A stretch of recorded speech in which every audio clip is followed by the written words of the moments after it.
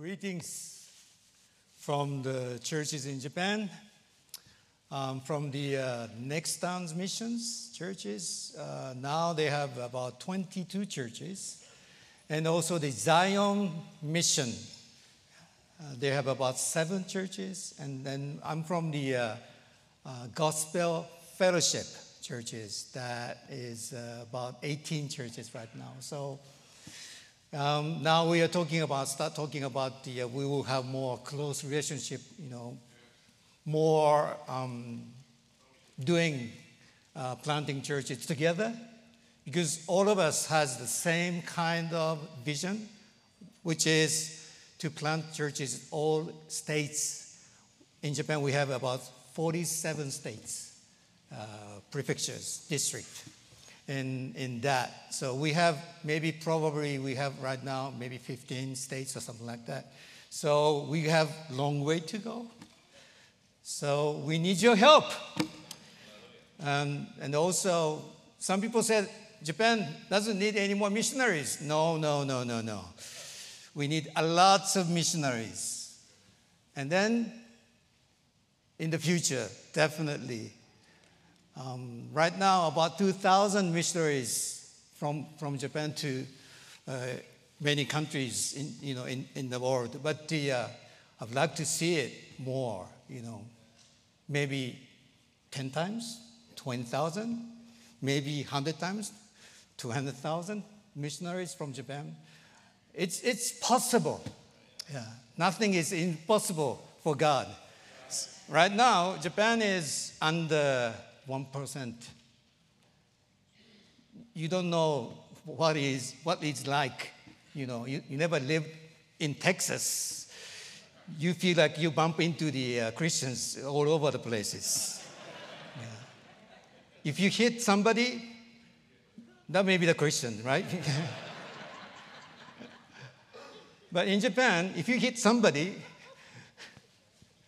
you don't hit Christians you feel it, you know, if you see it, you know, you smell like, oh, that person is a Christian, you know, it's different. There are different people. So anyway, if I go speaking like this, probably I will not finish sermon tonight, so I'll get into it anyway. Um, my name is Nobuyoshi Nagai. Nobuyoshi means uh, uh, righteous live by faith. Yeah. So it's easy to remember, right? Uh, Nobu means faith, believe, and Gi Nobuyoshi means righteous. So my father, um, when he was praying for uh, his son, his first oldest son to, to be born, he was praying to God, and he said, he, God said that the righteous live by faith. So my name is Nobuyoshi. Nobu, you can call me Nobu because Nobuyoshi is just, just a bit too long for the uh, most of the Texans. So, um, when I was in uh, Texas, um, I came to Texas, um, Dallas, uh, to attend the Christ for the Nations. Um, that was 1983. Uh, and in those days, not many people saw Japanese people, and Jap- Japanese name is not that familiar. So I, I introduced myself. My name is Nobuyoshi. Some people said, "Oh, you are Nobuyuski." You know, they changed it to the Russian name or something. So, so I said, "No, no, no. You don't have to pronounce all, entire my first name. You said Nobu." So Nobu has been the, uh, my American name. So please, please remember that. Um, in Romans chapter 1, verse 11 and 12, it says like this I long to see you so that I may impart to you some spiritual gift to make you strong. That is, that you and I may be mutually encouraged by each other's faith. I came to here to mutually encouraged by. From you, I want to get encouragement because it's ministry in Japan is not easy. Of course, ministry in the United States is not easy also. That's why we need to come together once in a while and encourage each other. So, could you turn to the next person? And then I said, I'm here to encourage you. You could say to the person.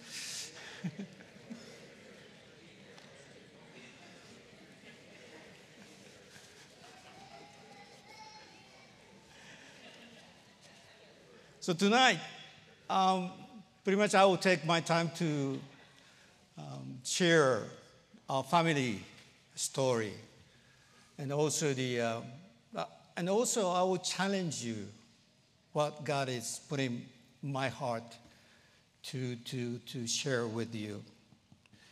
Um, Christian faith is relation. Relationship with God, relationship with other Christians, other churches, and relationship with the world. So these are the three relationships that we have. So what we do in mission, we will be sending, sending into, the, into the world so that we'll be able to bring the people, the person, to be in the relationship with God. And then that, if, if that person accepts Jesus Christ as their Savior, they will become our family member. And then they will be sent back to the world. That's the uh, cycle. We want to see that. We want to see it all over the world. We want to see, you know, I want to see it in Japan, definitely. And then God has been working strongly last, I would say, since 2011. That was a year we had the uh, big earthquake. That was the uh, changing point for Japanese church to wake up and look for God for the answer. But before I go into the, uh, my story, but I need to tell you the, uh, my father and my mother's story. Uh, my father's name is Akira. Um, he is still alive. Um, I may not, I may speak like he's already passed away, but uh, no, no, he's still alive. He's 87 years old, but he's, he's suffering with the dementia right now. So he's losing some memories, especially um, recent memories he's losing. So he's with the uh, close, I mean, he lives close to the, uh, my uh, other siblings. My mother Eiko Nagai. Uh, she passed away in 2019. Uh, she, she had the leukemia. And so she passed away within, I think, three months or so. And um, when I was uh, in Israel, um, I was leading some of the tour for the uh, other pastors and leaders. And then I got phone call from, the, from Japan. She passed away. So I didn't had a chance to um, meet before she died, but uh, I know for sure that she's in heaven and I will be able to meet her. And these are the things that, you know, um, if you are in serving the Lord, you know, you will experience. I was born in 1961 uh, while his, uh, my father was in the midst of the burnout uh, in his ministry. He is a graduate of the Ikoma Bible College, IBC. He was trained by the uh, um, Leonard Coote, also John and Ruth Bell. And before he was going to graduate from the uh, IBC, he heard the pro- prophecy prophecy was given by American preacher. So you need to listen carefully, right? So American preacher prophesied. And in those days, that's, that's the, uh, almost like, it sounds like the word of God, uh, voice from God. And what he said that the uh, revival in Japan will come south. So after his graduation, he decided to go to south. He was born in the Kyushu Island. Kyushu Island is a southern island. But he wanted to go to the very south of that island, place called Kagoshima. Kagoshima is very similar to Texas in a sense that the, uh, in Kagoshima, people um, think that Kagoshima is number one. so sorry to mention like this, you know. Um, by the way, I, my son, oldest son, was born in Texas. So he's a Texan. So I, we, I have a family member, you know, who are Texans. So I cannot. Thank you. Anyway, um, so he went to Kagoshima. He evangelized. He testified every day, very hard. trying to, you know, convert people, but nobody responded. Day after day, he went out to the street. He tried to, you know, evangelize people passing tract, but nobody responded. So he became burnout. While he was burned out, I was born. So what happened is because he has he had to support his uh, his family, so he went back to his hometown. His hometown is Fukuoka, uh, biggest city in the Kyushu Island. And he uh, started working for my mother's father's, my grand, grandfather's company. But as my mother said many times to, to her children, that in, during that, that time, about a year or so, uh, my father was the, uh, in the bottom. He was not happy. His, uh, his name is Akira. Akira means bright, but he was dark. And while he was working for the company, I became sick. Um, I was diagnosed, diagnosed as this is very difficult for me to pronounce it. Uh, intussusception. Intussusception. I, I, this is first time for me to really look into the uh, uh, English word, but this is uh, one of the diseases of the uh, intestine. So, and it was already too late for the doctor to cure. Um, when the, uh, they found out I was, you know, uh, suffering from the inter, inter, in, intussusception, um, it's, it's already, uh, you know, uh, past 48 hours. You have to fix this disease within the 40, 24 hours. So it's past double the, uh, the, the, the hours. So the doctor told my parents that it was too late to do any medical treatment. My father prayed. He prayed two prayers. One prayer is that the, uh, if God, you heal my son, I will go back to the ministry. But he prayed another prayer also. If you heal my son, I will dedicate this son to you. Without my permission.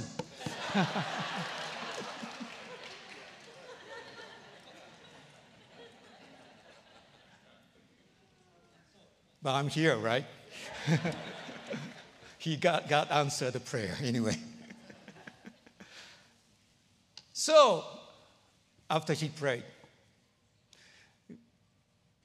the doctors unwillingly tried one of the treatment and I was healed eh, miraculously. Amen.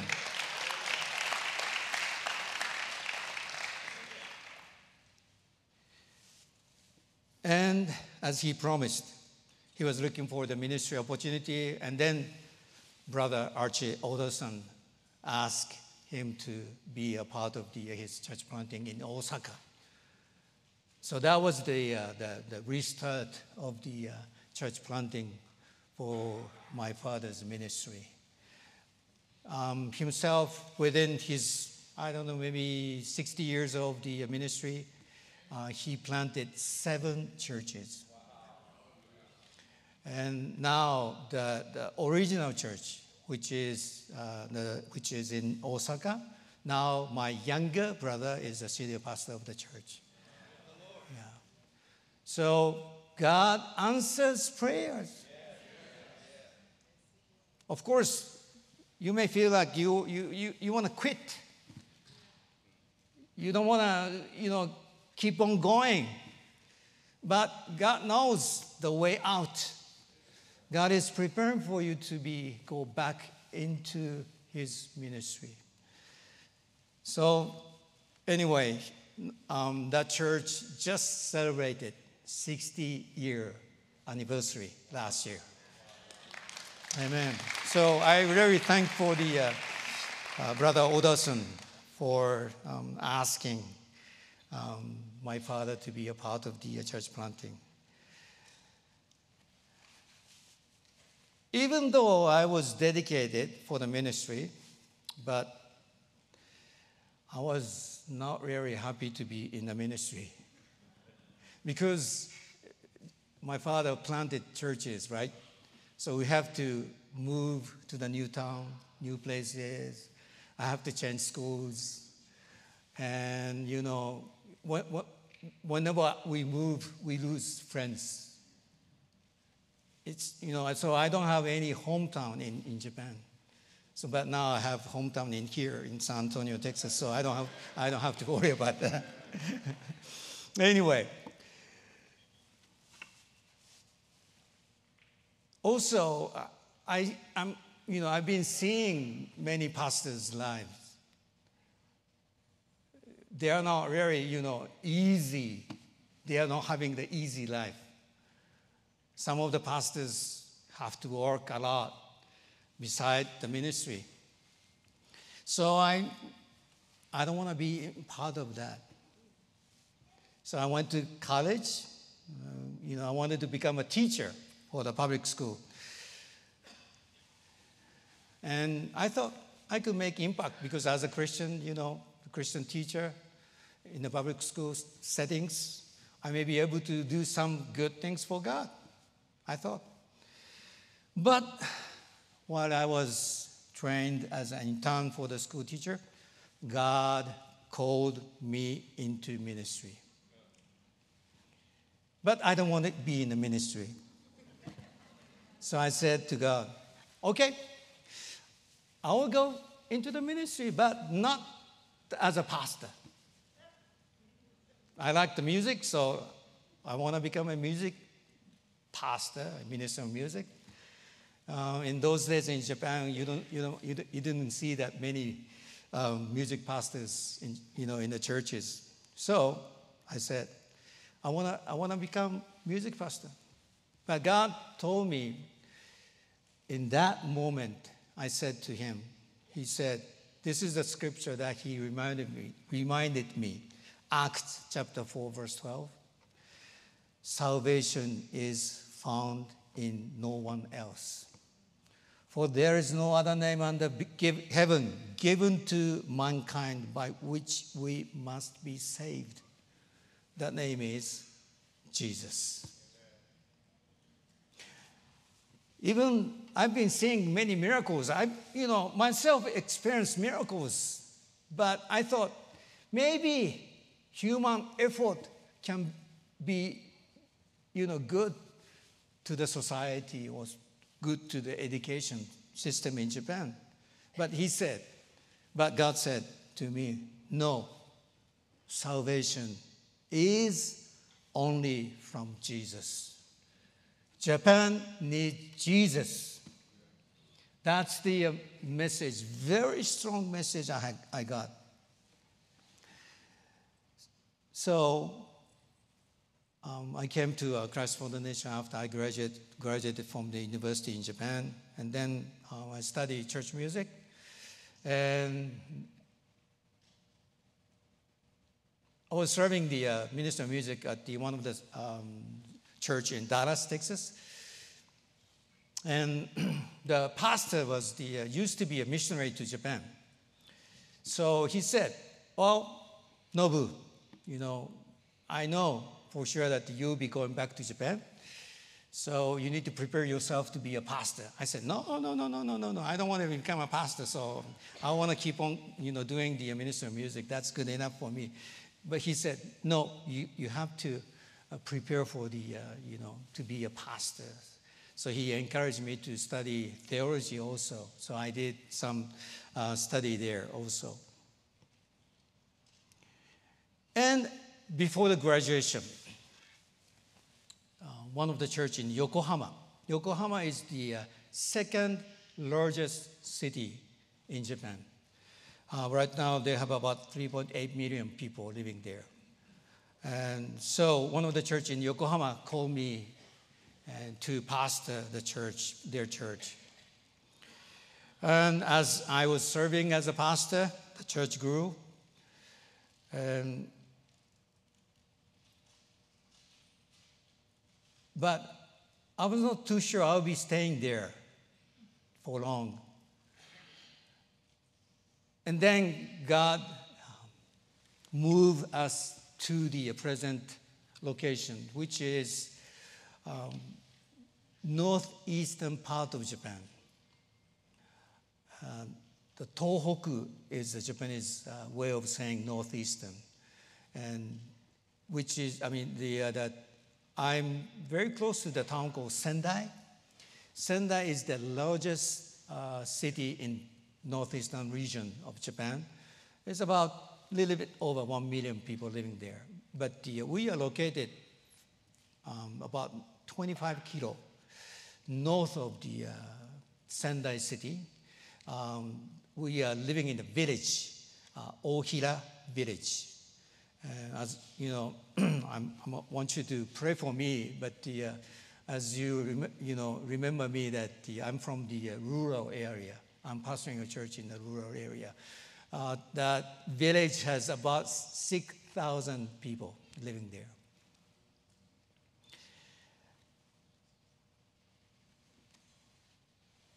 But uh, you know, we got. I, I knew that God sent us there that was the 1996. Uh, but I was not too sure about, you know, I should be staying there for long. I was not very happy with because, you know, I have to travel uh, overseas to minister, and also the, um, the fortunately, uh, God opened the door for the um, for my ministry to go around, you know, enter Japan. So I was not too sure. I, maybe I, you know I need to live more in a convenient place. Convenience in Japan is very important. Uh, the, the future when you are, when you choose the where to live. But then that great East Japan earthquake happened. 2011 the area where our church and uh, oh, by the way, we have a Bible school also, um, Bible school for the church planters. We've been um, training over 100 uh, people. Now they are um, going out to the, uh, uh, especially in the rural area of Japan, to planting churches. But anyway, uh, our church and the Bible school was one of the strongest area, area of the earthquake intensity earthquake with the uh, uh, seismic intensity of seven. In Texas, you don't feel that, you know, I don't think you want to feel that. But seismic intensity of seven is not really fun to be there. Um, that happened when, when the earthquake happened. My wife and my youngest son was driving. They were in the car the in front of the road was like this. And by the time they get to our place, you know, the, some of the building was uh, damaged. But I think that this is God's provision because we are in the inland, uh, far from the coastal area. So, uh, so we were not affected by tsunami. That the, the, the great uh, East Japan earthquake, I think most of the people remembers that the, uh, the, the size of tsunami was so big.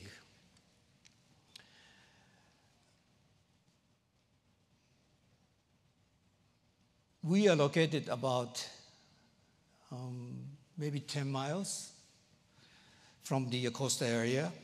So our campus became one of the centers for the relief ministry. Um, you know, that earthquake happened, that was on Friday afternoon. Saturday, Sunday, and Monday. Monday, the, the phone start ringing from all over the world. Are you okay? You know, uh, we'd like to come to help you. And so we became the uh, center for the uh, relief ministry. So as far as we, you know, counted, we don't know how many people came, but the, uh, we know for sure first year we have over 2,000 volunteers stayed our place we went for the relief work in the coastal area. Also, following year, we had probably we had about same size of the people volunteer came to. And then I realized that the, uh, God put me there for this. It took for me to really realize why, you know, I'm here, you know. 15 years before disaster to prepare and build relationship, the networks of the churches, not within domestically, but also the uh, worldwide, global network, so that we'll be able to uh, support and min- do the ministry. Most of, I should say most of, because uh, there's, uh, um, unfortunately, you know, there are not very um, good volunteers. it's, it's, it's funny, but the, uh, uh, some of them, they, they came for the, their, their purpose. So was not you know, happy. But most of them, the Christians, did great job. Being good example for others, especially for the, to the non-Christians. So some people local people called Christians, Christian volunteers, Kiristo-san. Kiristo-san means they look like Christ. That created the atmosphere of accepting Christ for their Savior. I've been seeing many, many people after the, that disaster, they accept Jesus Christ. As far as I know, now about 30 churches has been planted in our area. This has never happened in the history of Japan. Within three, four years, God has been using all such sort of the ministry, mission organization to plant the churches in Japan. Still, after, you know, now, I mean, this year will be the 12th years of the uh, um, memorial um, year for us for the, uh, this earthquake. But the, uh, still, um, very strong ministry is going on. But as I look at this, it dawned on me that we, as the churches in Japan, have not evangelized the area. Tsunami hit and gave damage about 500 kilo, about over 300 miles of the coastal area.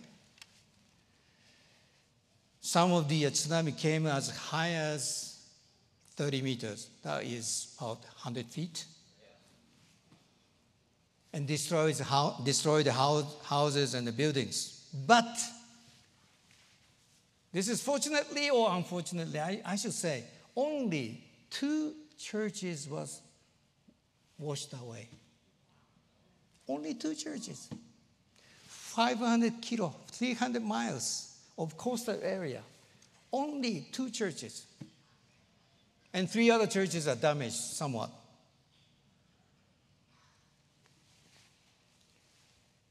That means there was no churches in the coastal area. We didn't, we didn't really plant the churches there. We didn't evangelize. Today, I would like for you to remember this particular passage. It is from the Romans chapter 1, verse 14.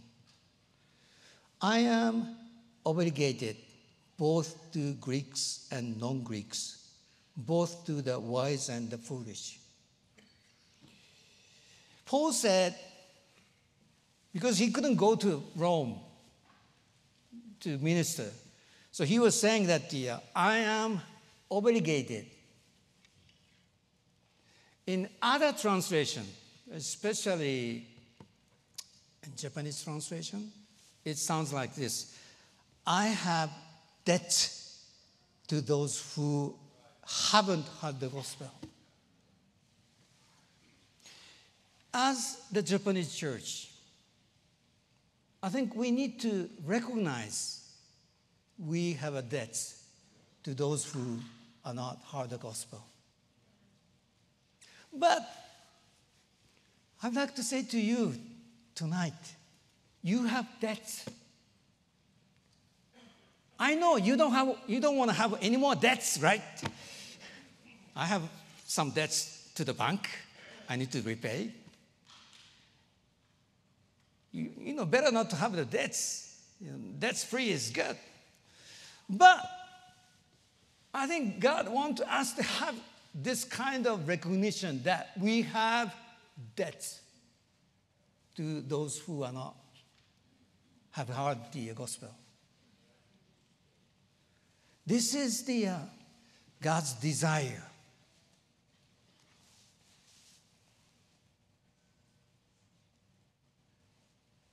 We need to pay back this debt to the people who have never had the chance to hear the good news of Jesus Christ. Japan, as I, you know, as I mentioned, and some other people mentioned, the Christian population is less than 1%. It is the second largest unreached people group in, in the world um, next to the uh, Bangladesh. But you know, you know, if you know the, the country of Bangladesh, that the God is moving there. Uh, the church is, has been planted. Some of the very strong ministries going on.